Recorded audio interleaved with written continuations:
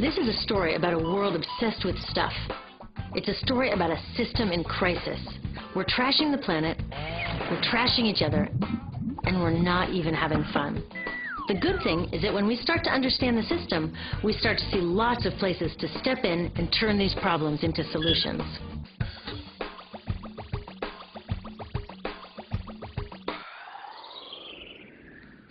Can I tell you, I love my Pantene Pro V. Of the dozen or so personal care products that I use every day, it's the one I can't live without. Says it gives my dull hair the ultimate cool shine. How does it do that? I was wondering that while I was lathering it in my hair one day, so I read the ingredients right here. Sodium lauryl sulfate, tetrasodium EDTA, methyl isothiazolinone. What is this stuff? I took this list to some scientists who know how to read it. Turns out my Pantene contains a chemical linked to cancer. And lots of other products in my bathroom, from sunscreen to lipstick and even baby shampoo, also contain chemicals linked to cancer or other problems like learning disabilities, asthma, and even damaged sperm. Like most parents, I try to keep my family safe. But now I find out my bathroom is a minefield of toxins? What are we supposed to do? To find out the answers, we have to go back to one of the key features of our materials economy, toxics in, toxics out. If, at the factory, you pour toxic chemicals into a product, like baby shampoo, you're going to wind up with toxic baby shampoo and toxics in workers, communities, and, duh, babies. So let's take a closer look at this toxic outrage where it seeps into our lives every day, in the bathroom. The average woman in the U.S. uses about 12 personal care products daily. The average man about six. Each product containing a dozen or more chemicals. Less than 20% of chemicals in cosmetics have been assessed for safety by the industry's safety panel, so we just don't know what they do to us when we use them. Would you fly on an airline that only inspects 20% of its planes? Of course, not all of these chemicals are dangerous, but we know that many are. Some are carcinogens.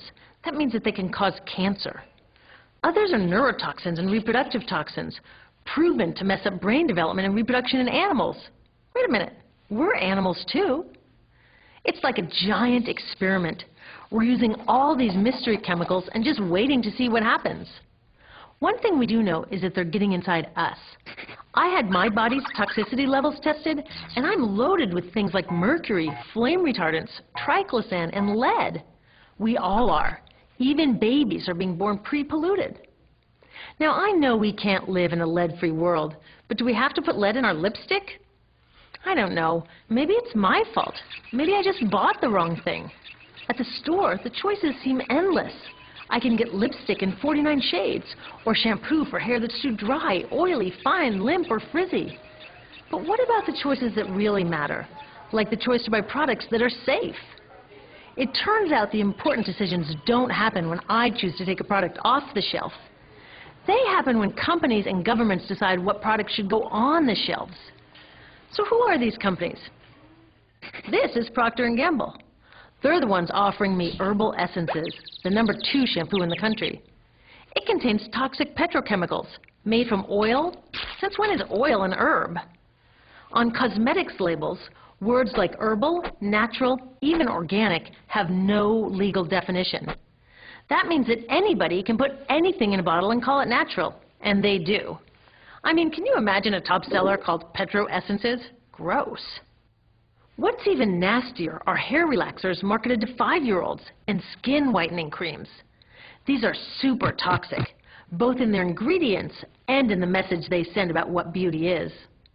Oh, here's Estee Lauder offering me a chance to help find a cure for breast cancer. That's nice. But wait, they're also using chemicals linked to cancer.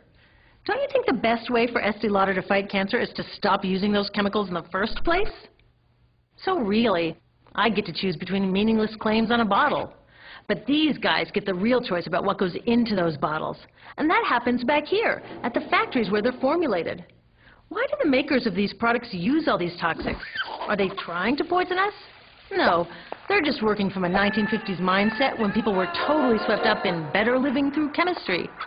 In all that excitement, they forgot to worry about human health impacts. That was years ago, and they are still using these same old toxic chemicals.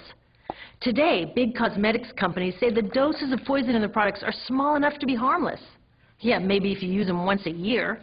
I guess they never get out and see that their products are being used and combined with other products every day.